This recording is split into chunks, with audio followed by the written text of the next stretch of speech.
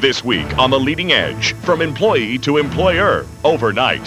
When you're working for yourself, it's uh, you get really quite a rush, and uh, you know because you you take all the benefits and the failures that's on your shoulders. And a busker turned businessman. Banks will tell you you need a five-year business plan, you need this, and you need that. But you know what? You want to get into business, go get into business.